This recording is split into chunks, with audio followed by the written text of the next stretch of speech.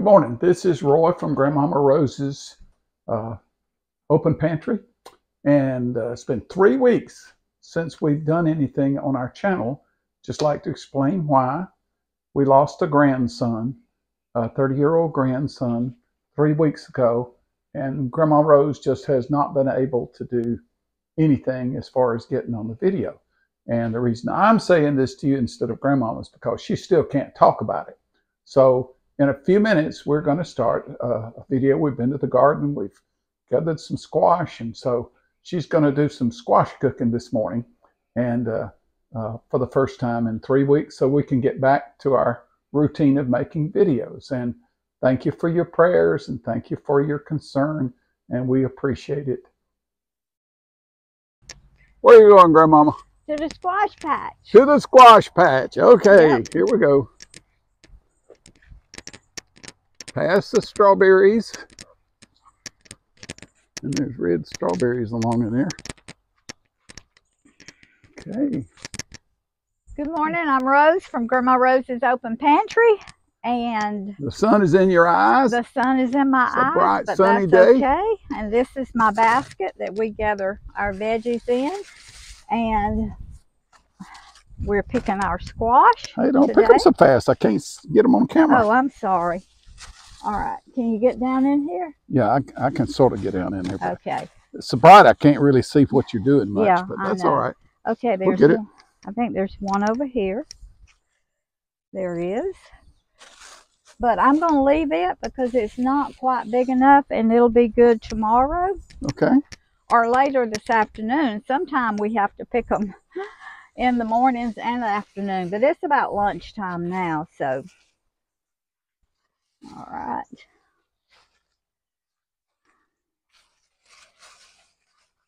Okay. We picked them pretty close the other day, but uh, isn't that beautiful? Beautiful squash. Mm-hmm. Uh, here's another one. Show them this one, honey. Down in there. I'm Mhm. leaving it because tomorrow Mhm. it'll be just right. Okay. I could go ahead and pick it today, but since we pick them every day, now this is a little bit bigger than what I like, It's a great frying squash. but it's a great frying squash. So I'll fry that one. And even though it's big, Roxy, get back here. Roxy likes to go to the front. Uh, even though it's big, it's not a real mature squash because we've had a lot of rain and they just grow fast. So um, it's not a squash that's too old or anything. Okay. Now, we used to uh, own a farm, and on our farm, we had a hundred acres of squash, Woo. and we and we truck farmed. We contracted them with a plant in uh, in Eastman, and so uh, now I'm gonna go ahead and pick that one. I could have left it till tomorrow, but these are good stewing squash or stir fry. I'm to go in and show you how I stir fry some and how I use these big ones to just fry. So I think that's it until tomorrow. And then we'll pick some more tomorrow. So see you inside. It is now. Okay. What have you got? Y'all, this is Ella. We're going to cook her how? Bake her No. or fry? We're babysitting. We've been babysitting since Thursday. This is Promise. It's a little dog. Her name is Ella. And we just love her. And uh, if y'all hear a little yip, a little dog, and not Roxy, it's Ella. So, Roxy, you're taking this Ella stuff pretty good, aren't you, girl? Doesn't bother you, does it? so Okay. Promise is supposed to pick her up later today, but I just wanted her in the video because she's one of my great grands. So, Well, we got to stop and let you wash your hands. I'm we? fixing to. She's Promise's baby. So I wanted to get her in the video. So I've been doing a lot of cooking today. Cody, uh, our uh, one of our grandsons is home from the Air Force. He's home on leave. So I baked a ham and uh, I've got it in here. Uh, I have got, I've made some cornbread. I've got some white acre peas back, or cream 40 peas back here. I've got a white bean salad in the refrigerator, which is absolutely delicious. I'm, I'll do a video on it a little bit later. And I'm going to stew some squash, or stir fry some squash, and then I'm going to fry some squash. And I've already got my squash cut up and seasoned. And as you can, see, I'm letting them drain in this colander. Uh, I just put them, put a bowl under them and just let them drain. And then I'll put a little buttermilk on them. They've got salt, pepper, garlic powder, onion powder, and cayenne pepper on them. So I'm just going to sit them over here.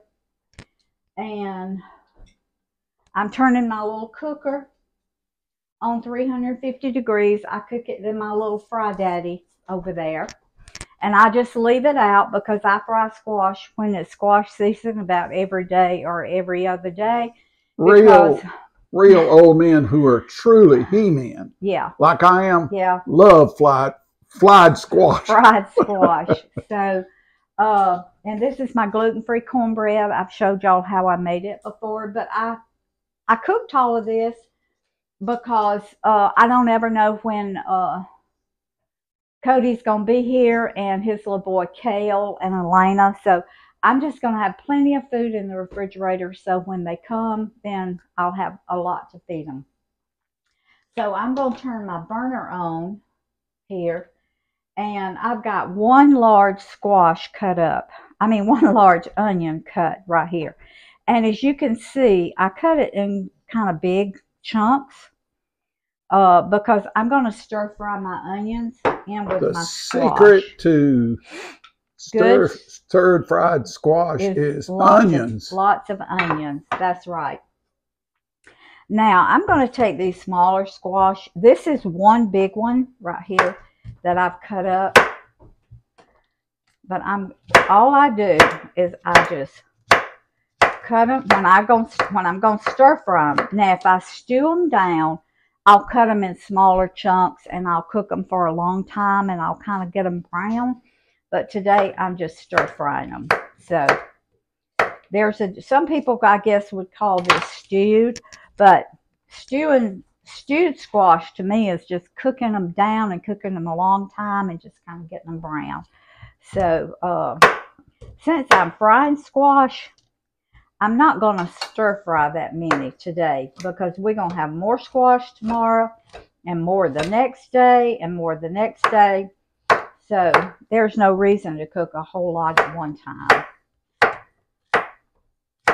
Okay. And, and there's a rule never ever serve squash that are not seasoned. No. Do not do that. That's inhumane to humanity. Mm, And you got to salt, pepper, and onion do. as a minimum. You do. And I always do a little uh, garlic and onion powder in mine.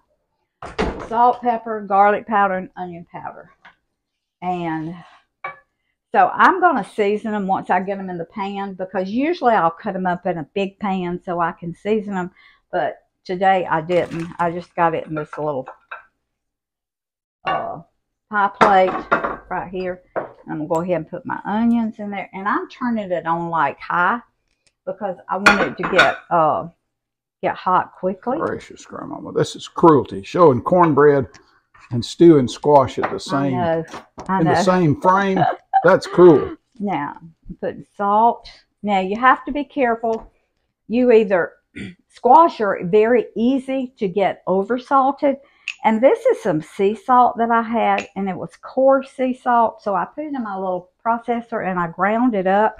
So I haven't learned how to cook with it yet Under season I'm going to under season. Yeah. and season again at the end. And then if I need to add more salt, I will. That was like probably, um, and it's easy, very easy to get too much black pepper. I don't know why.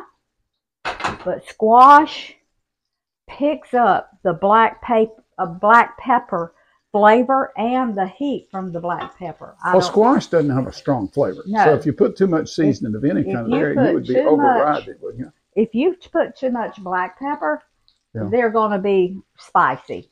So, all right, I'm just going to let, and I'm going to put some, this is garlic. That's probably fourth of a teaspoon and maybe fourth of a teaspoon of onion powder. Any bacon grease? No, I've got olive oil and butter Okay. in the bottom. All right. A lot of times I do use bacon grease, but today I decided to use olive oil and butter. So, all right. I'm just, it's going to take these a minute to come up to, to temp. Now my squash are going to um, shrink a little bit. They're going to cook down. And my onions, and oh, it's going to be so good. But I'm going to try to do them on like a medium high heat the whole time. I'm going to turn them down in just a minute uh, because I want them to stir fry and not not stew. So I'll be back uh, as soon as these start cooking, and I'm not going to put a lid on them. If I was stewing them, I would put a lid on them. But since I'm stir frying them, I'm not going to put a lid on them. So, all right, I'll be back in just a few minutes.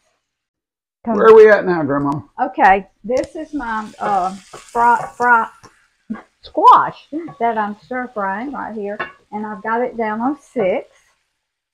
I left it on eight until I got it to where hot enough. So now I'm just kind of stir frying them. And by leaving the top off, you don't collect any liquid in the bottom. right, just sort of keep you it- don't. You, you Yeah, wanna stir keep it- not Mhm. boiling. Right. hmm Okay. Now, these are the squash that uh, I have already seasoned. Back up a little bit, baby. Buttermilk, buttermilk, buttermilk. Yep. I was about to forget. I always coat them just a little bit. Now, you will see I don't put the like two tablespoons is all I put on it. You're not wanting a real thick coating, no. are you? Mm-mm. And then I just take and I, Oh, they're loving that buttermilk. Look at them. I know. They're just hollering and shouting and Yep. diving in. All right. Hmm. Now, in here I have plain cornmeal, salt. Now remember, I've already seasoned my squash really well, but I always put a little bit more salt in my uh in my mixture. This is gluten-free flour, plain cornmeal, and salt. Okay? And my grease is hot, so what I do, and this is some cornmeal. If I have any left, I'll always put it in a little Ziploc bag and I'll use it the next time. But I wanted to show y'all how I mixed it, so I'll just use that tomorrow or whatever. Okay, so I just take and stir my squash up good in my mixture here. And I just leave my grease in my uh, little fryer here, and about every three days I strain it because some of this uh, coating does come off in the bottom. So, and I just put my squash in there.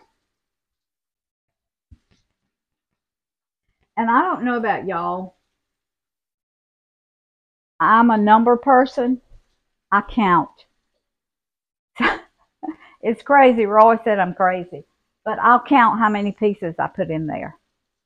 So usually I put about 25 or 30 pieces in, but most people wouldn't even wouldn't even think to do that. But that's just me. I'm a number person. I count. So, Now you can do this by slicing them thin into discs or in these little cubes like you've them. yes. Now we like them better. I like them better in the cube because they're crusty on the outside and soft in the middle. If you if you cut them in a little thin slices, they're more like chips. I like them both ways. And we do them both ways. So just ever how you prefer them. Mostly, I just like them cooked by the time the meal is on the table. I know. Ooh. And they are, by the way, they are better hot, but they're also delicious cold. When she leaves them on the stove, they always disappear between meals. yes, they do. Okay. I'm gonna stir my. All right. Do you see that? You see how it's beginning to get a little brown right there, Mm-hmm. and they're beginning to get soft. That's what you want. Mm -hmm. Right there. So, all right. You just want them caramelized, something, right? I do. Mhm. Okay. Yep. All right. I'm gonna continue to fry my squash and stir fry my squash, and it won't take us long now. We'll be eating. All right, this is Roy's plate. That's cream 40 peas, that's white bean salad, fried squash, stir fried squash, cornbread, and spiral ham. Now, he is about to let us know how I'm gonna taste is. this bean salad. The bean salad. mhm. Bean salad. It's delicious, folks. It's the first time I've ever fixed it, but I'm gonna be making it again for y'all on video. Mm.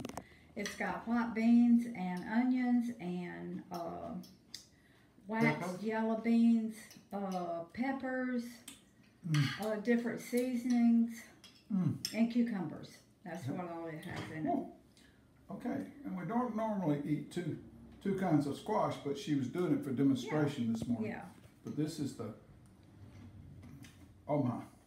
Mm. crunchy on the outside, soft in the middle. Mm. Peas, Little piece of cornbread. and all this is gluten free now, and no sugar added. So This is this is a hard job, but somebody's got to do it. You know? somebody's got to do it. That's Mhm. right. And then you get these these onions and stewed squash here. No stir fried squash. Okay. Yeah. so it's it's edible.